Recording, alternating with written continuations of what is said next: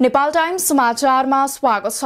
नेपाल प्रहरीका पूर्व डीआईजी रमेश खरेलले देशलाई नेतृत्व गर्नेहरूले नागरिकलाई धोका दिएको बताएका छन्। बिहिबार काठमाडौँमा हाम्रो नेपाल सुशासन अभियानको शुभारम्भ गर्दै खरेलले देशलाई नेतृत्व गर्नेहरूसँगै विभिन्न निकायको नेतृत्व गर्नेहरूले धोका दिएको बताएका हुन्। उनले जनताको सेवा गर्न जानेहरूले काम नगरेर भ्रष्टाचारलाई संस्थागत गर्दै लगेको आरोप समेत लगाए।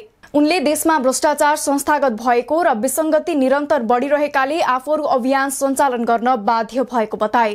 जसले नेपाली जनताहरूलाई म तपाईँहरूको सेवा गर्छु तपाईँहरूलाई न्याय दिन्छु तपाईँहरूलाई सुशासन दिन्छु भन्ने भनेर हामीलाई भन्ने हाम्रा पोलिटिकल लिडर सोसियल लिडर पुलिसका लिडर मिलिट्रीका लिडर जुडिसियरीका लिडर सबैले धेरै जसोले हामीलाई धोका दिए।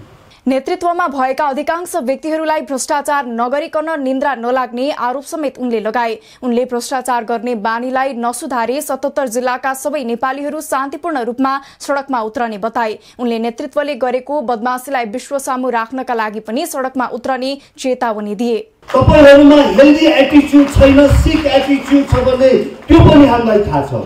तर हामी तपाईँहरूलाई अलर्ट गराउन चाहन्छौँ। तपाईँहरू सुध्रिनुहोस्।